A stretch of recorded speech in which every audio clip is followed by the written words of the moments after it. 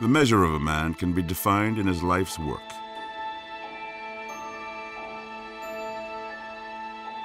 Excellence is often equated with winning.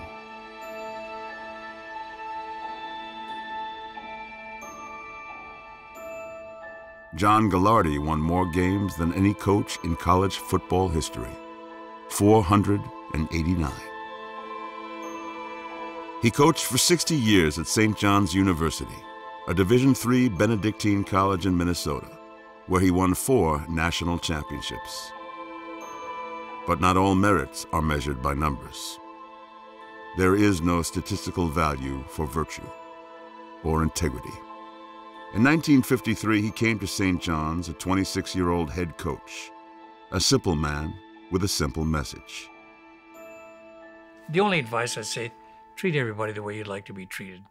That's that's I, I said that to my players over and over, year in and year out. He taught that football wasn't everything. Football is a stepping stone to something more important. You know, your, your life, your family, your friends. That's true. I think that was uh, his philosophy. He didn't expect that you're going to go play in the pros, but he did expect that you're going to be good men. First day of my freshman year, he took a dime out of his pocket and held it up to the sun. He said, that dime is football and that sun is your education. Don't get them confused. And part of that was the respect for the human being and the whole notion that he was interested in your whole life. And it's because of the, uh, the value system that the Benedictines have instilled at St. John's. I think the players responded to that. just trying to do the right thing. And that's really the only rule I ever had with him, the golden rule. Gagliardi preached personal accountability. In practice, he eliminated anything deemed unnecessary, an unorthodox approach he called winning with No's. We didn't have any blocking sleds, no dummies, um, you know, no whistles, uh, no cals. Probably the most radical was no tackling in practice. People say, how can you possibly do that? There were so many injuries in practice that it would hurt us in a game time. So all we would work on in practice is defeating the blocking scheme, getting the proper pursuit, all the kind of things mental, you might say.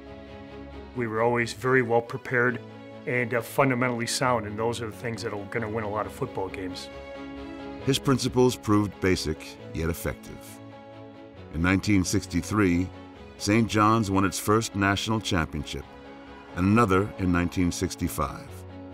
In 1976, Gagliardi won his third. He was revered as a coaching icon, yet to his players, he was still John.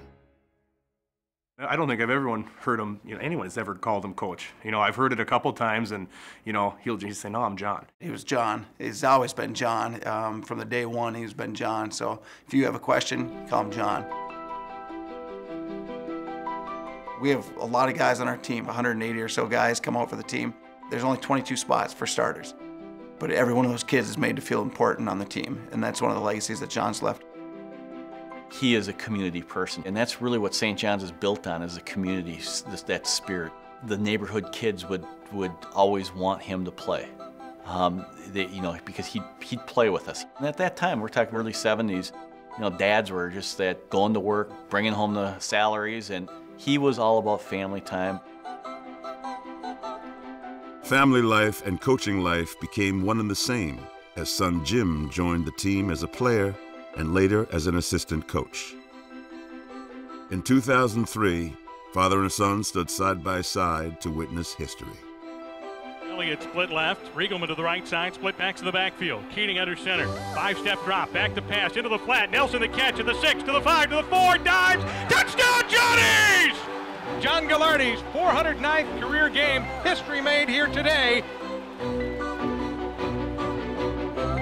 People ask me how it's done, well, talent and luck and prayers.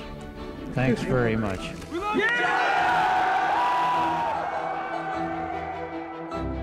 The times changed, but the man did not. John Gagliardi held on, and he kept winning. John Gagliardi trying to win his fourth national championship in in first since 1976, and St. John's eschewing the uh, field goal opportunity. Now the 14th play of this drive.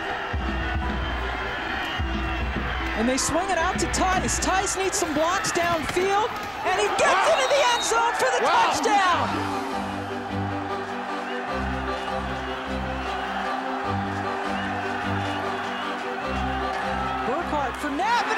Picked off.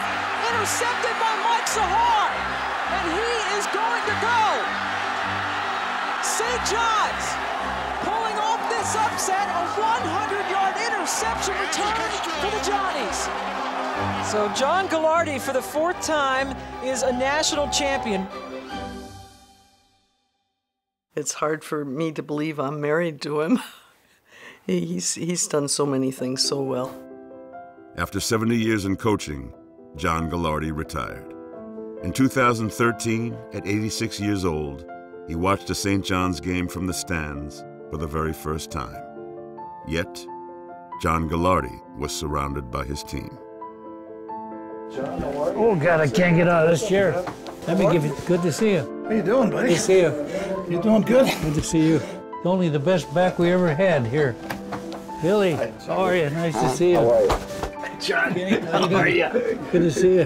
There were things we didn't realize then that you taught us that that are bigger than those things we learned on the field. That makes me proud that I had touched their lives, hopefully for the best.